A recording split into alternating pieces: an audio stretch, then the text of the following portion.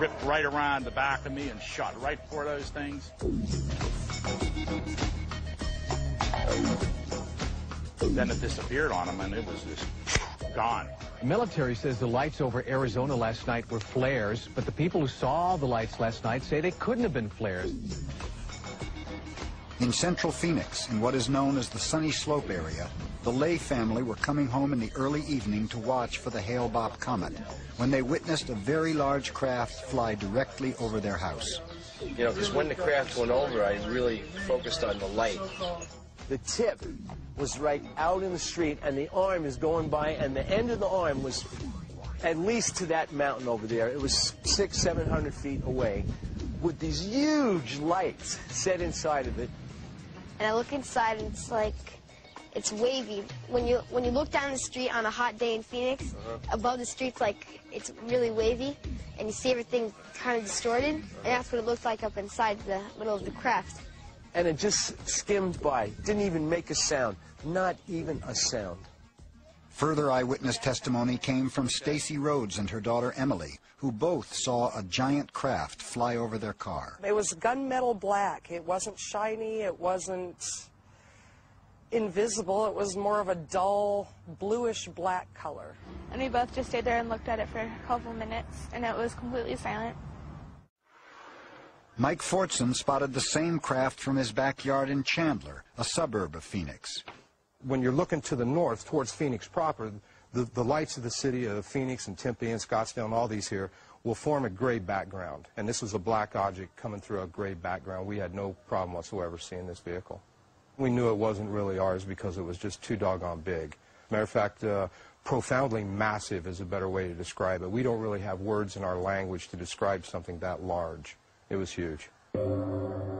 Councilwoman Frances Barwood was approached by a reporter who complained about the lack of response from local government regarding the sightings.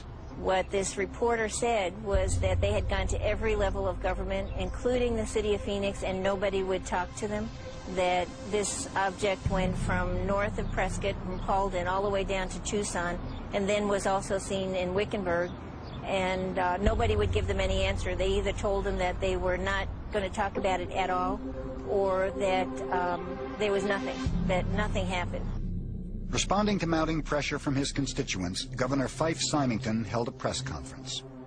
Oh, I'm going to order a uh, full, you know, investigation of this through DPS. We're going to make all the necessary inquiries, and we're going to get to the bottom of it. We're going to find out if it was a UFO. Later that day, Governor Symington held an unscheduled live press conference to announce that they had discovered the source behind the Phoenix lights. Now I'll ask Officer Stein and his colleagues to escort the accused into the room so that we may all look upon the guilty party. Now, this just goes to show that you guys are entirely too serious. Well, I think everybody pretty much laughed at it. I thought it was really disgusting. He was just dismissing everything that these people had seen and said, just like we're all Looney Tunes. I, I just thought that was a really improper attitude for somebody in his position. Nobody in state, local, federal, military, nobody wanted to talk about it. Um, they didn't want to interview witnesses. They said it didn't happen. They said it didn't concern them. Uh, there was one councilwoman, Frances Barwood. She's the one that, that spoke up and said, why don't we investigate? And then when it came time for her election, she lost. And, and the, the press, the media, everybody else was really trashing her bad. Why is everybody so afraid? And the only thing I can think of is, one, they're afraid of their careers, which, you know, comes to a point of what's more important, your soul or your job, and I guess to them it's their job. And the second thing is the scorn factor. The U.S. military's involvement in the UFO subject dates back to World War II. It began with the sighting by Air Force pilots of mysterious luminous orbs called Foo Fighters, which would pace aircraft during missions and then dart away. They fly circles around anything we've got flying. That strange behavior includes the ability to both hover and move at extremely high velocity, to make right-angle turns at high speed, to go straight up, straight down, all of this typically without any noise, without any visible external engines, without any wings, without any tail. We simply could not do that back 50 years ago. In the summer of 1947, numerous UFOs were spotted by local authorities, airline pilots, and civilians worldwide.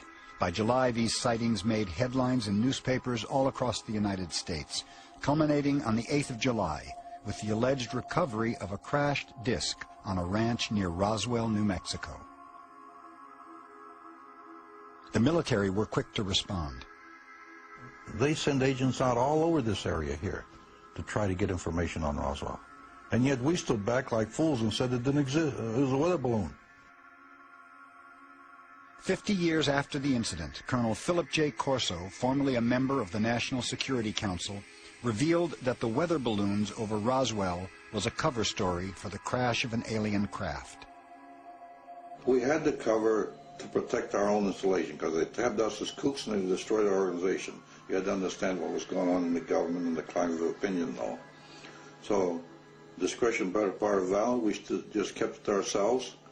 Only some certain people know about it, head to head, brain to brain, no paper trail. Although the official position claimed that UFOs didn't exist, this secret memorandum written by General Nathan Twining suggests otherwise. The consensus expressed by the Air Materiel Command was that the phenomenon reported is something real and not visionary or fictitious. The memo continues. There are objects probably approximating the shape of a disk of such appreciable size as to appear to be as large as a man-made aircraft. In this chaotic climate, and in an effort to reorganize the U.S. military, President Truman passed the National Security Act. This act built the framework for America's modern national security structure. Among other things, the act established the National Security Council and the CIA. The National Security Act of 1947 allowed for the creation of a state within a state. Author of UFOs and the National Security State, Richard Dolan, asserts that the signing of the National Security Act created an intelligence infrastructure capable of maintaining a very high level of secrecy. One with an enormous amount of power, an enormous amount of wealth, an enormous amount of secrecy, and latitude of action. The level of secrecy imposed by the U.S. government on the UFO issue is revealed in this top-secret memorandum. It was written in 1950 by electronics engineer Wilbert Smith, a high-ranking official in the Canadian Department of Transport. After a meeting with a top government scientist employed by the Pentagon, Smith was informed that flying saucers exist, and more significantly, the matter is the most highly classified subject in the United States government, rating higher even than the H-bomb.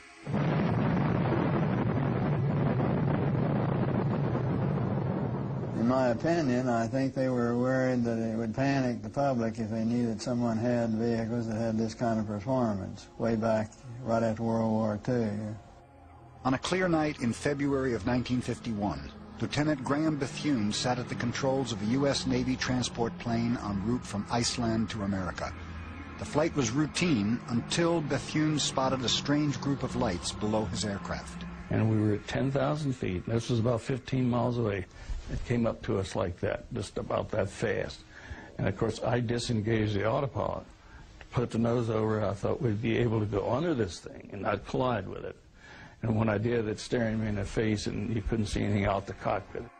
We could tell it was a monster about 300 feet in diameter. As it drifted out to our right, we could see the dome. According to Lieutenant Bethune, the object remained in this position for about a minute. It then accelerated rapidly and disappeared above the horizon. Upon landing at an air base in Newfoundland, he was debriefed and interrogated by several officers from naval intelligence. At the conclusion, he was ordered to never speak about this incident again. You accept anything like that simply because you're in the military and that's your job is defending the country and whatever they tell you to do, you do. The identity of the group responsible for imposing the secrecy around the UFO issue was revealed to Lieutenant Bethune several months later in a conversation with an officer from Naval Intelligence. And I asked him the question, what happens to this report? Where does it go? He said it goes to Navy Intelligence, Chief Naval Operations. Then it goes to a Joint Intelligence Committee. Now, of course, later on, I learned that it was MAJIC, which is Majority Agency Joint